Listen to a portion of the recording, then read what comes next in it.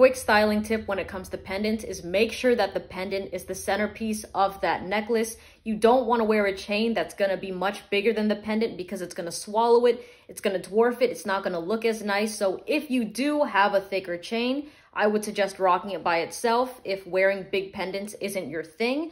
And what you can do is you can put the thicker chain up top and then get a thinner chain that's maybe two to four inches longer than the thicker one, and then drop your pendant on that so you have a nice little layering look on the neck.